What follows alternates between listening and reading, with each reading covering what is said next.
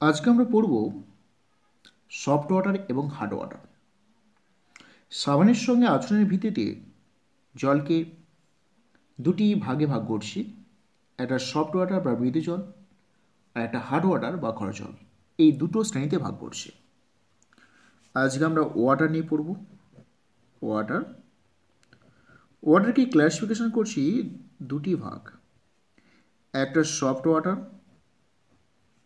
Soft water আরেকটা হচ্ছে hard water hard water hard ওয়াটে ভাগ করছি। সফট ওয়াটার বলতে বোঝায় মৃদু জল, আর হার্ড ওয়াটার হচ্ছে খড় জল, খর জল।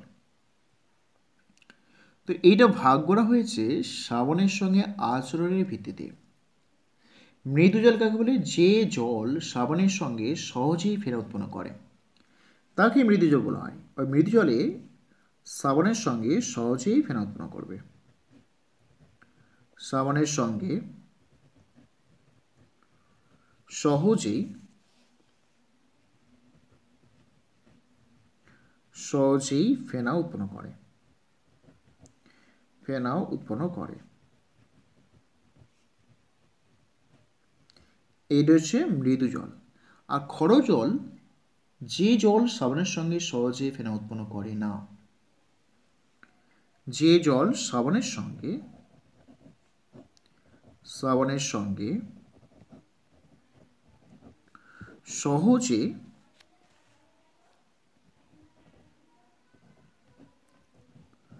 সহজেই ফেনাও উৎপন্ন করে না।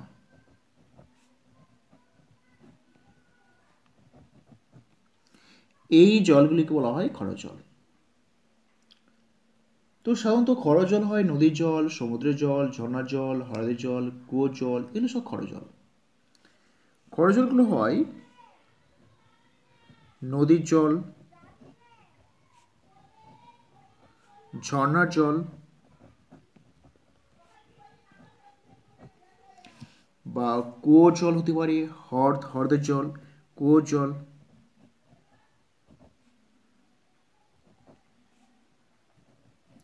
এই সমস্ত হচ্ছে খরজল আর সফটওয়্যার হচ্ছে সাধারণ সাধারণত পাতিত জলগুলো হয় বা খনিজ মুক্ত জল হয়, বৃষ্টি জল হয়, এগুলো হচ্ছে মৃদু জল। বৃষ্টি জল হয় বৃষ্টির জল বা পাতিত জলগুলো হয়, পাতিত জল। এই সমস্ত জলগুলো মৃদু ওয়াটার আর এই জলগুলো হচ্ছে খর ওয়াটার তো জলে খরতা হওয়ার কারণটা কি? কেন জলে ক্ষরতা হচ্ছে? জলে ক্ষরতা হওয়ার কারণ হচ্ছে জলের মধ্যে ক্যালসিয়াম ম্যাগনেশিয়ামের বাইকার্বনেট, ক্লোরাইড, সালফেট লবণ দ্রবিত থাকে। এই জন্য জলে ক্ষরতা সৃষ্টি হয়। জলে ক্ষরতার কারণ হলো জলের মধ্যে জলের মধ্যে ক্যালসিয়াম ও ম্যাগনেশিয়ামের বাইকার্বনেট, ক্লোরাইড এবং সালফেটের লবণ দ্রবিত থাকে। ক্যালসিয়াম ও ম্যাগনেশিয়ামের বাইকার্বনেট, অর্থাৎ HO three H HCO three chloride এবং সালফেট এর লবণ দ্রবীভূত থাকে। দ্রবীভূত থাকে। এই কারণে জলে খরতা সৃষ্টি হয়। তো কেন সাবান দিলে ফেনা উৎপন্ন হয় না? সাধারণত সাবান হলো স্টিয়ারিক বা পামিটিক বা ওয়েলিক অ্যাসিডের সোডিয়াম লবণ হয়। আর এই লবণের সঙ্গে এই লবণগুলো পরস্পর রিয়াকশন করে। রিয়াকশন করে সাবানে ফেনা উৎপন্ন করতে দেয় না। ধরে নাও সোডিয়াম স্টিয়ারেট রয়েছে। সাবান sodium stearate C seventeen H thirty five C double bond O O minus Na plus. Sodium stearate. This is 7. Sodium stearate সাবান এবার জলের মধ্যে এই সাবান দেওয়া হয়েছে ধরো জলের মধ্যে রয়েছে ক্যালসিয়াম সালফেট সাপোজ বললাম ক্যালসিয়াম সালফেটের জন্য জল খরা হয়েছে এবার এখানে ক্যালসিয়াম টু প্লাস আর সালফেট টু মাইনাস তো সোডিয়ামটা সালফেটের সঙ্গে যুক্ত হবে আর ক্যালসিয়ামটা এর সঙ্গে যুক্ত হবে যুক্ত হলে কী হবে? C seventeen H thirty five C double bond O O minus এটা হোল টু হবে এবং ক্যালসিয়াম তৈরি হবে। আর সোডিয়াম সালফেট হবে। এই সোডিয়াম সালফেট জলে কর্তা সৃষ্টি করে না। আর এইটা অধক্ষিপ্ত হবে। অধক্ষিপ্ত হবে। তাহলে দেখো, সাবানটা অধক্ষিপ্ত হয়েছে যতক্ষণ জলের মধ্যে ক্যালসিয়াম এবং ম্যাগনেশিয়াম আয়নগুলো আছে, ততক্ষণ কিন্তু সাবান অধক্ষিপ্ত হবে, ফেনা তৈরি করতে পারবে না। যদি জল থেকে সমস্ত ক্যালসিয়াম ম্যাগনেশিয়াম আয়নগুলো অধক্ষিপ্ত হয়ে যায়, তারপরে সাবান দিলে ফেনা উৎপন্ন হয়। অর্থাৎ খরজলে ফেনা উৎপন্ন হবে। যদি জল থেকে সমস্ত ক্যালসিয়াম ও ম্যাগনেশিয়াম আয়নগুলিকে দূরীকরণ করা যায়, অর্থাৎ সাবান দেওয়া হচ্ছে দেওয়া হচ্ছে, অনেকটা সাবান নষ্ট হওয়ার পরে দেখুন ফেনা উৎপন্ন হচ্ছে। এই যে সাবান নষ্ট হওয়ার কারণ হচ্ছে, জলের মধ্যস্থ সমস্ত ক্যালসিয়াম টু প্লাস আয়নগুলো এই স্টিয়ারেট আয়নের সঙ্গে যুক্ত হয়ে সাদা অধকে তৈরি করছে। যার ফলে নিচে থিতিয়ে পড়ছে অধকীয় পড়ছে। এর জন্য প্রচুর সাবান অপচয় হয়। এই কারণে খরজলে ফেনা উৎপন্ন হয় না। তাহলে এই জলে যে ক্ষরতা রয়েছে, এই ক্ষরতাকে দূরীকরণ করব কী করে? বা রিমুভ করব কী করে? তো জলে ক্ষরতাকে রিমুভ করব কী করে? জলে ক্ষরতা যেটা রয়েছে হার্ড ওয়াটার এই হার্ড ওয়াটার স্থায়ী হতে পারে, অস্থায়ী হতে পারে? আমরা দুটো ভাগ করব। একটা অস্থায়ী ক্ষরতা একটা স্থায়ী ক্ষরতা জলের হার্ড ওয়াটার আমরা দুরকম বলব। হার্ড ওয়াটার একটা স্থায়ী আর একটা হচ্ছে অস্থায়ী। টেম্পোরারি হার্ডনেস আর একটা হচ্ছে পারমানেন্ট হার্ডনেস তো টেম্পোরারি টেম্পোরারি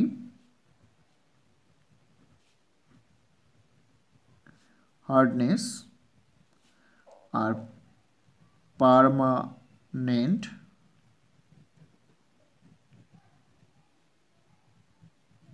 হার্ডনেস এরকম আমরা দুটো ভাগে ভাগ করব। টেম্পোরারি মানে অস্থায়ী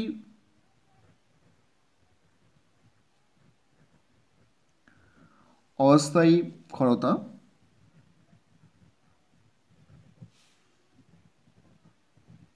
অস্থায়ী ক্ষরতা অস্থায়ী ক্ষরতা কখন সৃষ্টি হয়? যখন জলের মধ্যে ক্যালসিয়াম বাইকার্বনেট ম্যাগনেশিয়াম বাইকার্বনেট লবণে উপস্থিত থাকবে। তখন এই ধরনের ক্ষরতা সৃষ্টি হয়। তো জলের মধ্যে ক্যালসিয়াম বাইকার্বনেট বা ম্যাগনেশিয়াম বাইকার্বনেট লবণগুলি দ্রবীভূত থাকে তখন অস্থায়ী ক্ষরতা সৃষ্টি হয় আর স্থায়ী ক্ষরতা কখন সৃষ্টি হয়? যখন জলের মধ্যে ক্যালসিয়াম সালফেট ম্যাগনেশিয়াম সালফেট বা ক্যালসিয়াম ক্লোরাইড বা ম্যাগনেশিয়াম ক্লোরাইড লবণগুলো দ্রবীভূত থাকে। তখন জলের স্থায়ী ক্ষরতা তৈরি হয়। তো এই ক্ষরতাকে দূরীকরণ করব কি করে? প্রথমত আমরা অস্থায়ী যে ক্ষরতার সৃষ্টি হয়েছে, ক্যালসিয়াম ম্যাগনেশিয়াম বাইকার্বনেট লবণে উপস্থিত থাকার জন্য, এটাকে দূরীকরণ কী করবে মানে অস্থায়ী যে ক্ষরতা তাকে দূরীকরণ করতে হবে বা রিমুভ হয়, সেটা আগে বলব। অস্থায়ী ক্ষরতা দূরীকরণ দূরীকরণটা কীভাবে হয় সেটা আমরা এখানে পড়ব। Number one process boiling process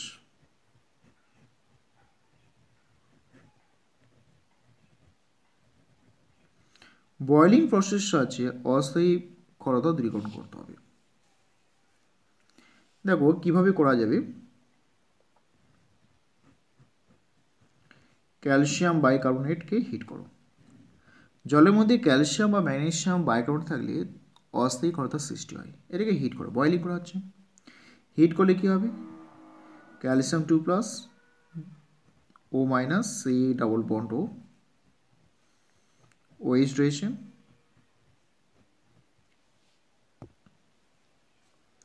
এখানটা ওয়েস রয়েছে এবার এখান থেকে প্রথমে কার্বন ডাইঅক্সাইড হয়ে যাবে। দেন ওয়াটার বেরিয়ে যাবে। পড়ে থাকবে ক্যালসিয়াম কার্বনেট ক্যালসিয়াম কার্বনেটের অতাব্য তৃতীয় পড়বে কার্বন ডাইঅক্সাইড গ্যাস হিসেবে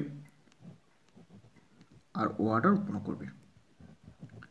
তাহলে ক্যালসিয়াম কার্বন যখন তৃতীয় পড়ছে, জলের মধ্যে আর ক্যালসিয়াম আয়ন থাকবে না।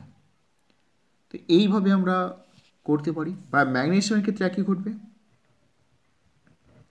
ম্যাগনেশিয়াম বাই কার্বনেট একে হিট করো। হিট করলে magnesium carbonate plus carbon dioxide plus জল তৈরি হবে।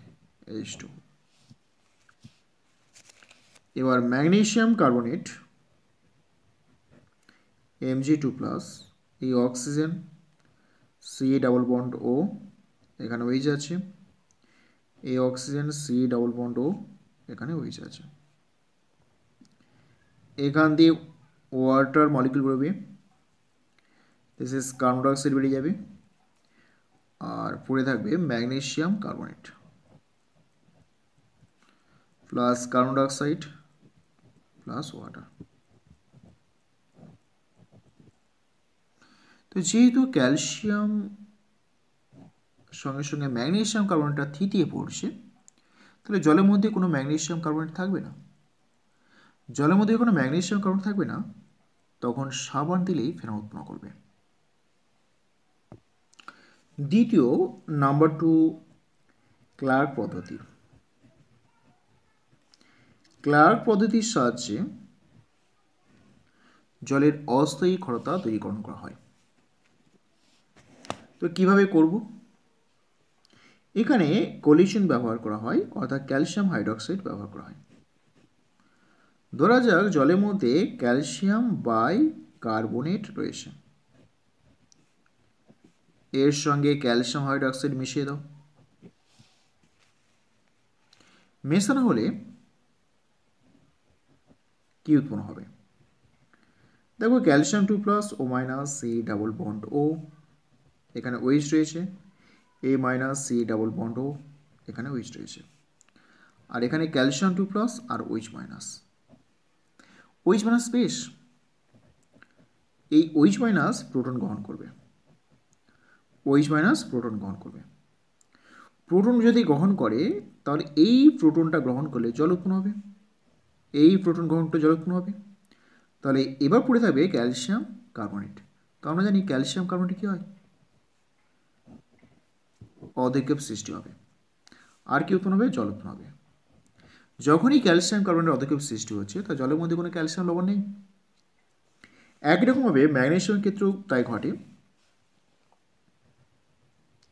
এই magnesium two plus oxygen minus C double bond O এটা ওইচ এখানে সি ডাবল বন্ড ও এটা ওইচ এর সঙ্গে যখন ক্যালসিয়াম হাইড্রক্সাইড দেওয়া হচ্ছে ওইচ মাইনাস তো এখানে হয় কি ওইচ মাইনাস এটা গ্রহণ করবে, আবার একটা ওইচ মাইনাস এখানে গ্রহণ করবে। তাহলে এই প্রোটনকে গ্রহণ করলে জল উৎপন্ন হবে, এখানে গ্রহণ করলে জল উৎপন্ন হবে, আর উৎপন্ন হবে ম্যাগনেশিয়াম কার্বনেট, আর এখানে ক্যালসিয়াম আছে ক্যালসিয়াম কার্বনেট। তো এখান থেকে পাওয়া যাবে magnesium carbonate plus calcium carbonate plus water. এইটা পাওয়া যাবে। তো ম্যাগনেশিয়ামের সঙ্গে কার্বনেট, ম্যাগনেশিয়াম কার্বনেট, ক্যালসিয়ামের সঙ্গে কার্বনেট, ক্যালসিয়াম কার্বনেট। আর জল পাওয়া যাবে? এখানে কার্বনেটটা ক্যালসিয়ামের সঙ্গে আর ম্যাগনেশিয়ামের সঙ্গে। তাহলে এইটা রিয়াকশন করলে ম্যাগনেশিয়াম কার্বনেট এবং ক্যালসিয়াম কার্বনেট উৎপন্ন হচ্ছে, যা কিনা অধক্ষিপ্ত হবে। অধক্ষিপ্ত হলে জলের মধ্যে কোনো ম্যাগনেশিয়াম বা ক্যালসিয়াম আয়ন থাকবে না। এর ফলে জল থেকে আমরা সম্পূর্ণরূপে ক্যালসিয়াম বা ম্যাগনেশিয়াম আয়নগুলিকে দূরীকরণ করতে পারব। এইভাবে অস্থায়ী ক্ষরতাকে দূরীকরণ করা যায়। এবার স্থায়ী ক্ষরতা কী করে দূরীকরণ করব? স্থায়ী ক্ষরতা কী করে দূরীকরণ করা যায়? স্থায়ী ক্ষরতা দূরীকরণ করব কী করে? দেখো, স্থায়ী ক্ষরতা দূরীকরণ করা যায় এইভাবে, আগে বুঝতে হবে যে স্থায়ী ক্ষরতা কেন সৃষ্টি হয়েছে? স্থায়ী সৃষ্টি হয়েছে calcium sulphate magnesium sulphate, calcium chloride magnesium chloride. অর্থাৎ ক্যালসিয়াম ও ম্যাগনেসিয়াম এই সমস্ত আয়নগুলো জলের মধ্যে দ্রবীভূত থাকার ফলে স্থায়ী খরচ সৃষ্টি হয়েছে। তো একে দূরীকরণ করার জন্য নাম্বার ওয়ান প্রসেস ক্যালগন পদ্ধতি। ক্যালগন পদ্ধতি বা প্রসেস ক্যালগন প্রসেস সাহায্যে কাজ করা হয়। ক্যালগন প্রসেসে এখানে জলে সোডিয়াম হেক্সা মেটাফসফেট যুক্ত করা হয়। তার বাণিজ্যিক নাম হচ্ছে ক্যালগন মানে ট্রেটেনাম ক্যালগন। তো এখানে কী লেখা হয় না, এখানে sodium hexametaphosphate sodium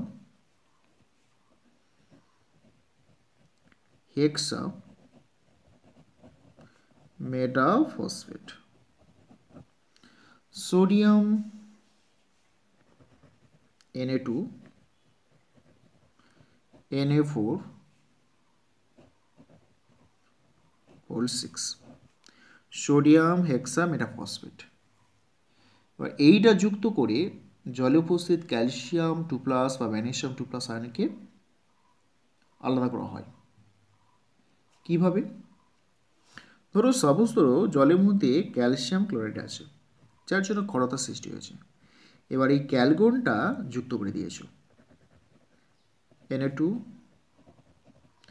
NA four PO three whole six যুক্ত করলে যেটা পাওয়া যাবে এখানে সোডিয়াম দেখো, আর এখানে সোডিয়াম রয়েছে। তো জটিল লবণ তৈরি করবে যেটা কিনা দাব্রু ক্যালসিয়াম টু প্লাস আর ক্লোরাইড মাইনাস করে। তাহলে এই ক্যালসিয়ামটা এখানে রিপ্লেস হবে। রাইট আর এই সোডিয়ামের সঙ্গে সেল যুক্ত হলে সোডিয়াম ক্লোরাইড উৎপন্ন হবে। তো sodium chloride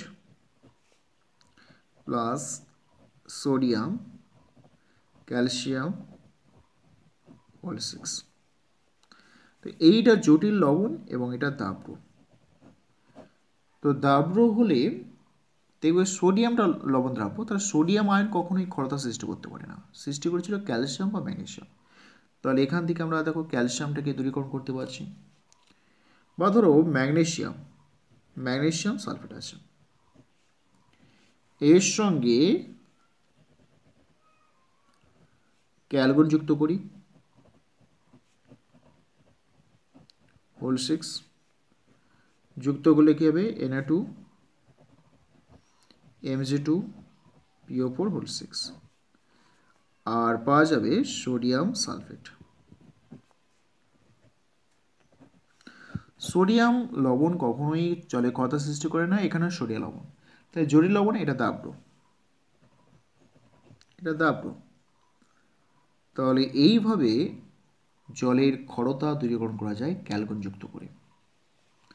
দ্বিতীয় পদ্ধতি, নাম্বার টু পার পারমুটিট পদ্ধতি। এই পারমুটিট পদ্ধতির সাহায্যে আমরা এখানে করতে পারব। পারমুটিট পদ্ধতি, পার মুটিট পদ্ধতি। এই পারমুটিট পদ্ধতির সাহায্যে জলের ক্ষরতাকে দূরীকরণ করা যায়। পারমুটিট পদ্ধতি পারমুটিট হলো সোডিয়াম অ্যালুমিনিয়াম সিলিকেট। এই সোডিয়াম অ্যালুমিনিয়াম সিলিকেট সাহায্যে এখানে জলে উপস্থিত ক্যালসিয়াম বা ম্যাগনেশিয়াম আয়নকে আলাদা করা হয়, যার ফলে জলের ক্ষরতাকে দূরীকরণ করা যায়। Sodium, aluminium, silicate SI two wait ধরো জলের মধ্যে ক্যালসিয়াম সালফেট রয়েছে। জলের মধ্যে ক্যালসিয়াম সালফেট রয়েছে।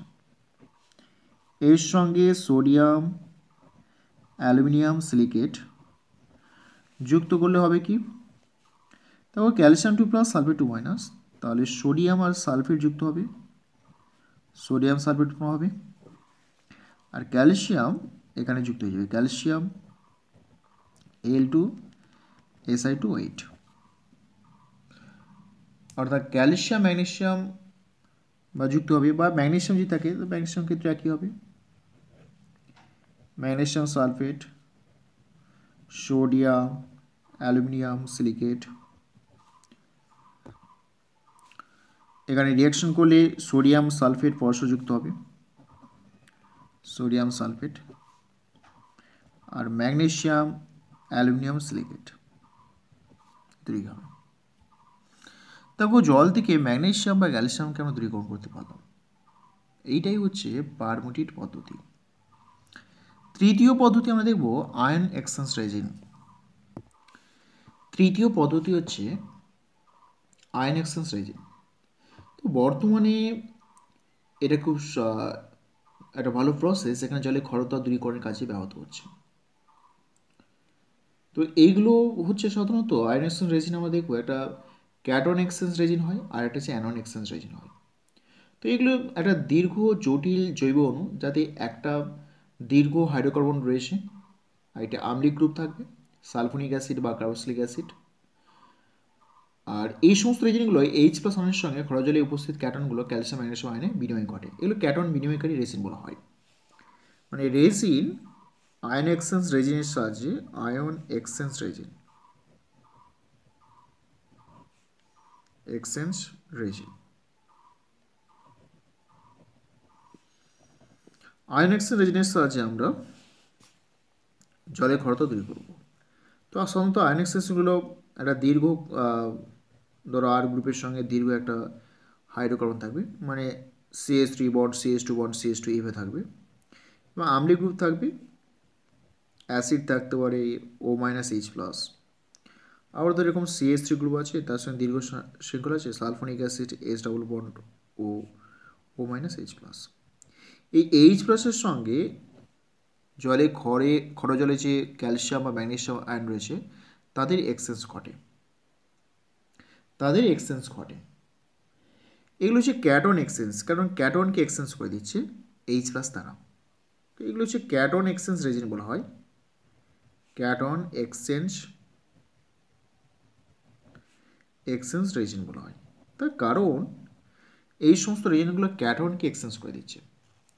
আর অ্যানন এক্সচেঞ্জ রেজিন হবে যেখানে ক্ষারকীয় ওইচ আয়ন প্রতিস্থাপিত হয়ে অ্যামোনিয়াম হাইড্রোক্সাইড রূপে অবস্থান করে। আর এখানেও একটা দীর্ঘ হাইড্রোক্রম থাকবে। তো এই সমস্ত রেজিনগুলো ওইচ মাইনাস আয়নের সঙ্গে খরচের উপস্থিত অ্যাননগুলো সিএল মাইনাস সালফেট বাইকার্বনেট এই প্রভৃতি এই সমস্ত আয়নগুলো বিনিময় ঘটাতে সক্ষম হয়। এই জন্য একে অ্যানন এক্সচেঞ্জ বা অ্যানন বিনিময়কারী রেজিন বলা হয়। ধরো এগুলো দীর্ঘ হাইড্রোকার্বন হবে, এরকম CS three bond CS two bond এরকমগুলো থাকবে। NH four OH minus ammonium hydroxide থাকবে। তো এই ওইচ মাইনাস দ্বারা জলে উপস্থিত যে সমস্ত অ্যাননগুলো রয়েছে সিএল মাইনাস সালফেট মাইনাস তারা কিন্তু দূরীকরণ হয়ে যায়। তো এদের দিকে আমরা অ্যানন অ্যানন এক্সচেঞ্জ রেজিন বলা হয়। Exchange resin. Anion exchange resin বলব তো কীভাবে হয়? প্রথমে আমরা কাজ করব কীভাবে? রেজিনের কার্যপদ্ধতি। প্রথমে খরজলকে প্রথমে ক্যাটন বিনিময়কারী রেজিনের মধ্যে চালানো হয়। জলে উপস্থিত ক্যালসিয়াম ম্যাগনেশিয়াম প্রভৃতি ক্যাটনগুলি রেজিনের এইচ প্লাস আনার সঙ্গে স্থান পরিবর্তন করে। প্রথমে ধরো একটা রেজিন ভরে দিয়েছি, এখানে একটা বিজ্ঞান এখানে রেজিন ভরে দিয়েছি। রেজিন আছে? দিস ইজ রিজন এবার এখানে খরজল যুক্ত করা হয়েছে এইচ টু খরচ যুক্ত আছে, ধরো খরচের মধ্যে ক্যালসিয়াম সালফেট থাকতে পারে ম্যাগনেসিয়াম সালফেট থাকতে পারে। তো এই সমস্ত কী হবে? এইটা হচ্ছে আমার ক্যাটন এক্সচেঞ্জ রেজিন আছে ক্যাটন এক্সচেঞ্জ রেজিন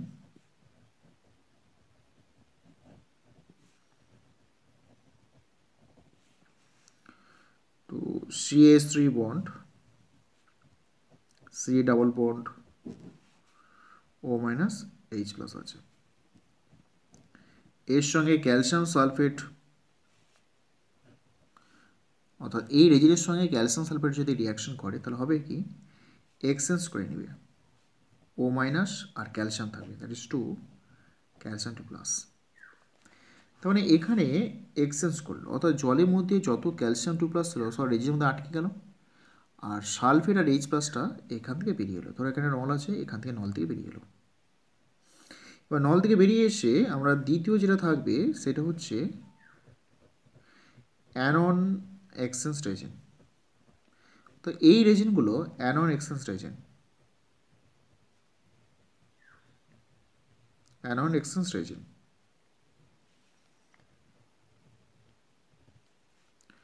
এবার অ্যানন এক্সচেঞ্জ রিয়েজেন্ট বলতে ধরো এরকম সিএস থ্রি বন্ড আছে সিএস থ্রি অ্যামোনিয়াম রয়েছে এনএইচ ফোর প্লাস আর ওইচ মাইনাস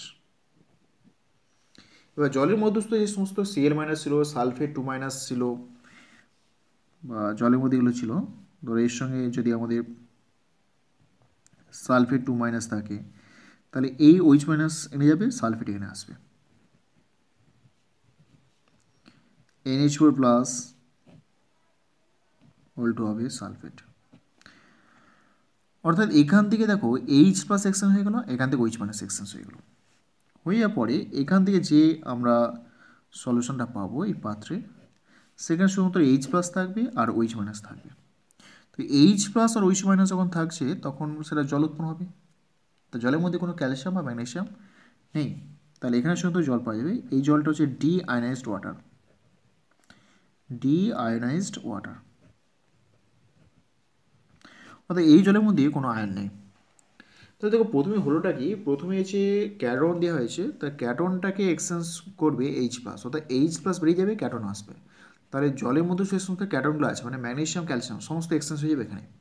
এবার এখান থেকে যখন জলটা পড়ছে, তখন অ্যাননগুলো থাকবে। মানে জলের মধ্যে যে সমস্ত খরা জলের সৃষ্টি করে অ্যানন বলতে এখানে দেখো, ক্যালসিয়াম ক্লোরাইড থাকতে পারে মানে সিএল মাইনাস থাকতে পারে, ক্যালসিয়াম সালফেট সালফেট থাকতে পারে, আর ম্যাগনেশিয়াম ক্লোরাইড থাকতে পারে ম্যাগনেশিয়াম সালফেট থাকতে পারে, এই সমস্তগুলো। অর্থাৎ অ্যারন হচ্ছে ক্লোরাইড সালফেট বা বাইকার্বন থাকতে পারে, এখানে এলো। এখানে আবার এক্সচেঞ্জ হলো। কোনগুলো? অ্যাননগুলো। অর্থাৎ সিএল মাইনাস এনে আটকে গেলো সালফেট এখানে আটকে গেলো। তো আটকে গেলে কী বেরিয়ে যাবে? না ওইচ মাইনাস ওইচ মাইনাস বেরিয়ে এলো। আর এখান থেকে এইচ প্লাস বেরিয়ে আসছিল তাহলে ওইচ মাইনাস এইচ প্লাস যুক্ত হলে সলিউশন নিউট্রাল হয়ে গেলো, অর্থাৎ জল। তো এই জলগুলো ডি আয়নাইজড ওয়াটার বলা হয়। এইভাবে আয়নক্সন রেজিনের সাহায্যে আমরা জলে খরতা দূরীকরণ করব। নাম্বার ফোর প্রসেস কাপড় কাঁচা সোডা পদ্ধতি ওয়াশিং সোডা ওয়াশিং সোডা এই ওয়াশিং সোডা দ্বারা জলের খরতা দূরীকরণ করা হয়।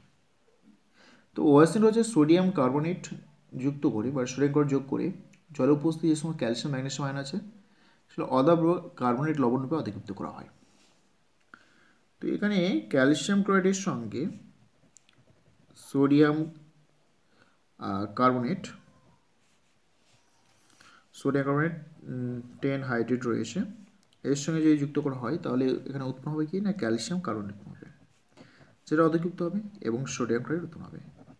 দেখো ওয়াশিং সোডা যুক্ত করলে যেটা ওয়াশিং সোডা, সোডিয়াম কার্বনেট রয়েছে এই ওয়াশিং সোডা যুক্ত করলে দেখো ক্যালসিয়াম কার্বনেটকে অধিকৃত করতে পারছি। যখনই এটা অধিক্ষেপ সৃষ্টি হচ্ছে, তখনই জলের মধ্যে ক্যালসিয়াম, আয়নটা থাকবে না, অর্থাৎ জলে ক্ষরতা সৃষ্টি করবে না।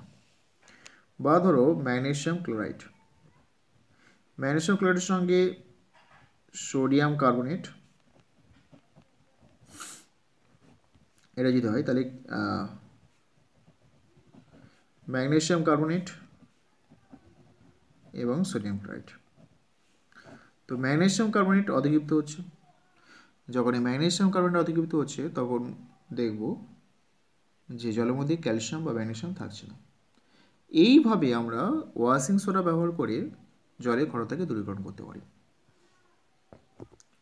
এরপরে আমরা পড়ব জলের ক্ষরতা মাত্রা, অর্থাৎ degree of hardness of water. জলের ক্ষরতা মাত্রা। তো degree of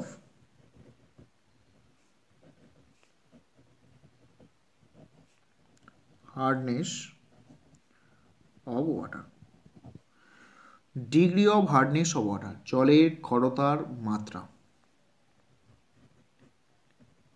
জলের ক্ষরতার মাত্রা। জলের ক্ষরতার মাত্রা আমরা এখানে বিচার করব। জলের কোনো নমুনার প্রতি দশ লক্ষ ভাগের ভরের উপস্থিত ক্ষরতা সৃষ্টি করে বিভিন্ন লবণের সমতুল্যাঙ্ক পরিমাণ ক্যালসিয়াম কার্বনেট। যত ভাগ ভরের ক্যালসিয়াম কার্বনেটকে নির্দেশ করে, সেই ভাগকে বলা হয় জলের ক্ষরতা মাত্রা। অর্থাৎ, সংক্ষেপে বলে বলা যায় যে টেন টু পাওয়ার সিক্স ভাগের ভরে জলের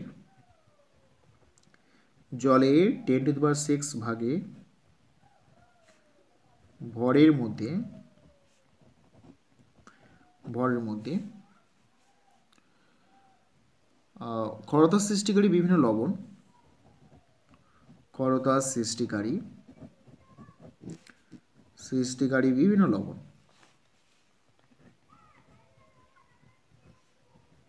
বিভিন্ন লবণ। সমতুলাঙ্ক সমতুল্যাঙ্ক পরিমাণ।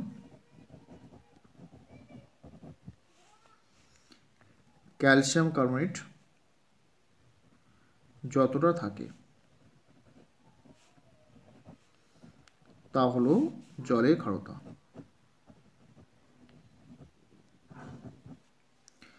জলের টেন টু দুবার সিক্স ভাগের ভরের মধ্যে ক্ষরতা সৃষ্টিকারী বিভিন্ন লবণ সমতুল্যাঙ্ক পরিমাণ ক্যালসিয়াম কার্বনেট যত থাকবে, সেটা হচ্ছে জলের ক্ষারতা।